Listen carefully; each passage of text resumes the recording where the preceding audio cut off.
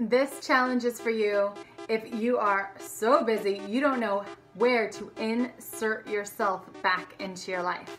Work, kids, family, relationships, drama, trauma, the past, all of that crap we're gonna kick out.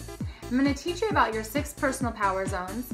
I'm gonna give you a very in-depth special peek at a mini course that I did about hacking your time so you actually create more time in your day.